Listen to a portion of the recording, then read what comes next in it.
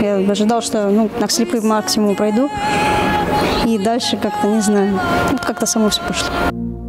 А пошло очень даже хорошо, да так, что добрался до финала популярного телевизионного шоу. А кругом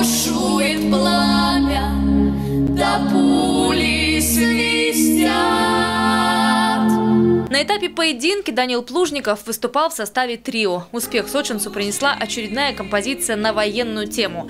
Итог – восхищенные отзывы жюри и путевка в следующий этап.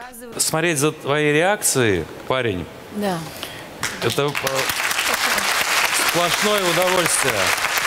Она настолько взрослая, она настолько проникновенная, а, пережитая какая-то, а, что, конечно, без а, твоих глаз, без твоей реакции, этой красоты этого номера, вот его настоящей, настоящности, его бы не было. Победным для юного сочинского артиста стал и следующий тур музыкального конкурса «Песня на вылет».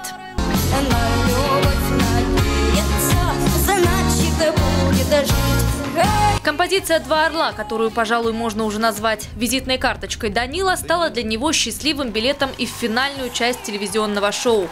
Слезы группы поддержки, овации зала, аплодисменты членов жюри и, как обычно, очень сдержанная, такая взрослая реакция артиста Данила Плужникова.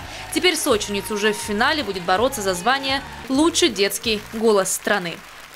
Ольга Десятого, телекомпания «ФКТ».